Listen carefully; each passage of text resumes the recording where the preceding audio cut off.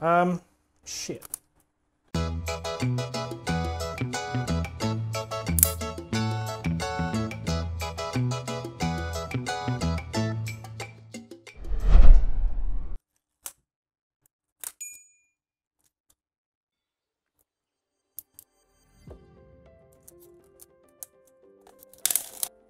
China high-end headphones.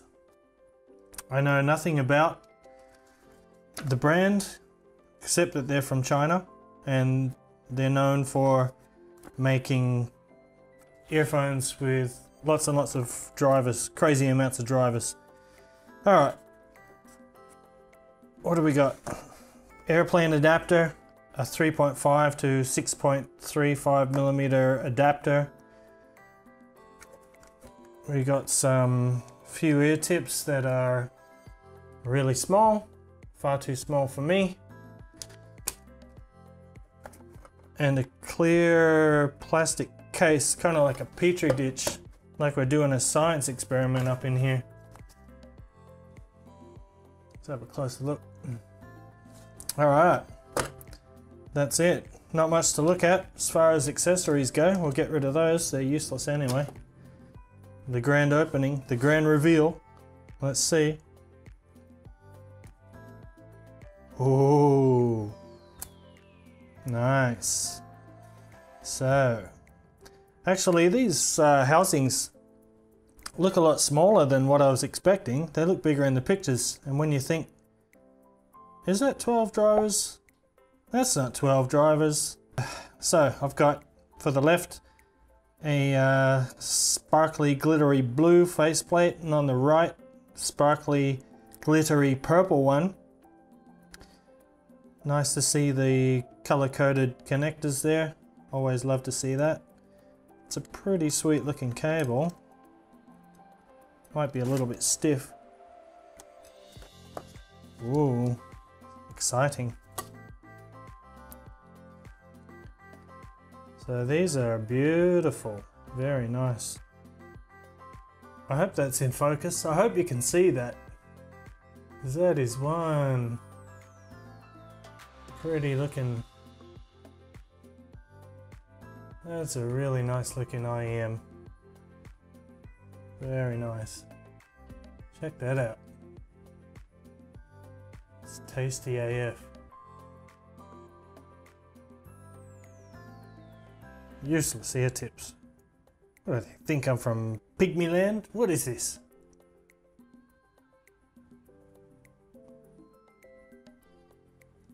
CTZ on the faceplate. What is this? A two pin connector? Or is it? Yeah, it's two pin. Of course.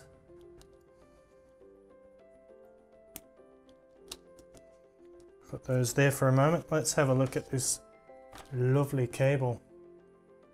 Start off with the plug this time. It's a right angled, pretty chunky plug. 3.5 mil. Good, uh, good strain relief on there. It's it's a bit lighter than it looks. It's not too heavy. Pretty chunky cable. Very nice. Feels good. Trying to think of another one similar. I know I've got one similar, but I can't can't remember which one right at the moment. Which one it is. Yeah, we've got a little Y split. It's got a chin slider, a cable cinch there. And here we are. The two pin connectors. Red for right and blue for left. With the preformed ear guides there. This looks like a superb cable. This looks great. Beautiful cable. So, there they are. Uh, not much else for me to say at this point, except that I'm going to go and listen to these for a few days. Very curious to know what the sound is like. And I will be back soon with a full report on the comfort and the sound. See you soon. Alright guys, I am back and I have been listening to the CTZ6 for, whew, I don't know, a week and a half now. Longer than I intended to. Um, just because I got shit going on, as we all do. So, let's talk about this uh, CTZ6 for a bit. Starting with the build quality. The shells are a lot smaller than I expected. Um, they're the the shape and the size are very similar to the 10 hertz P4 Pro. So if you've tried those before, you know exactly how these would fit in your ears. Great build. You can you can see you can see here the quality of the of the resin. There's there's no smearing. There are no bubbles inside. You can see the sound tubes. Um, both sides are symmetrical. So uh, the build quality is really top notch. Face plates. The nozzles have a really well defined uh, ridge on them, so they hold your ear tips in place really well. In terms of comfort, these things are really great. Um, I have no problem wearing these for hours at a time. Not a problem. The noise isolation is really good. There's no vents on the shells anywhere. So you got this solid chunk of resin in your ear. Not much noise gets in. Uh, likewise, there is practically no noise leak, so you don't have to worry about that at all. Alright, so how is the sound? Uh, the overall sound signature, it's it's mostly neutral, and it's very balanced. Although uh, there is there is a little bit of a bump in the upper mid range. Uh, the clarity is good. I won't. I wouldn't say the clarity is exceptional, but it is very good. Uh, what is really outstanding about these, though, is the resolution and the, the instrument separation, which is excellent. Really, really good. There's nothing in your face about the sound of the, the CTZ6. The note size is kind of small.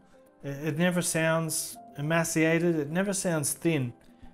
This sound signature won't suit everybody. Let me start by saying that. If you're if you haven't had a lot of experience with different earphones, uh, if you're used to something with a, a nice big bass, this is going to sound unusual, very different to you. But if you've got a fair bit of experience with in-ear monitors, if you know your way around different sound signatures, these have got some good stuff on offer, definitely and I would certainly recommend checking them out. The bass is very neutral, but given the right recording, it can actually punch pretty hard.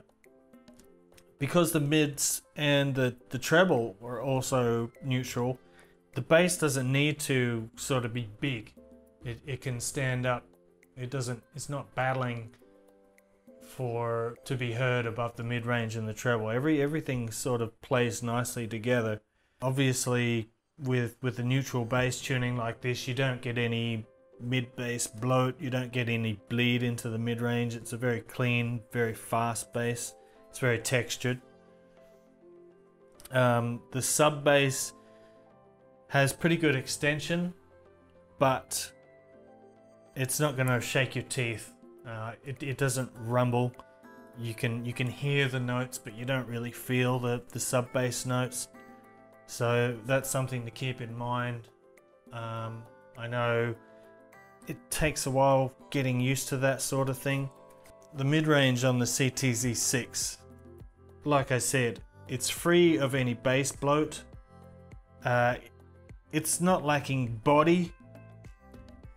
It's defined sort of by It's it's cleanliness. It's a it's a clean and a sort of a pure sound, but it's engaging and musical. Uh, although the transients are very fast, it does have a natural decay, and um, despite the very light quantity of the bass, the overall tonality just sounds right, um, which isn't easy to. It's not an easy thing to do. It's not an easy tuning to pull off successfully. When you have a bass like that, it, it often comes across as being anemic or being very thin, or uh, in some cases, it it tends to be to make the overall tonality too bright. But that doesn't happen here with this one. So yeah, good mids. Vocals sound great. The the mid range is is honey smooth. Great articulation. Good tonality, good timbre, all that stuff. Mid range is great. Treble. Mm, the treble has a sort of a, a, a linear evenness to it.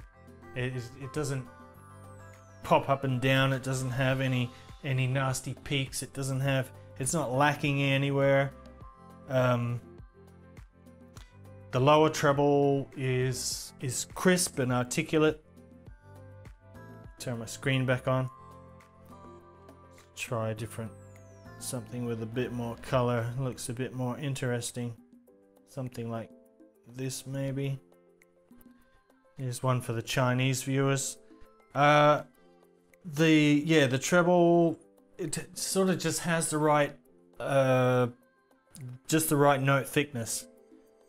Just enough solidity uh, to sound good. What i mean by solidity is picture the treble notes like a barcode and a solid treble note is, is like a straight line up and down. If it's too straight like that just too solid it, it sort of sounds too dull and, and constricted. But what the CTZ6 does is, is it kind of puts a, a little bit of a fuzzy edge on those solid notes, which which widens the sound. It, it adds a bit of airiness. It adds a bit of lightness and, and liveliness to it. No sibilance anywhere at all. definitely no sibilance. There's there's no stridency or harshness. It's a smooth treble, but it's it's clear and crisp. It's uh, it's detailed. I love the treble on this earphone. It's really good.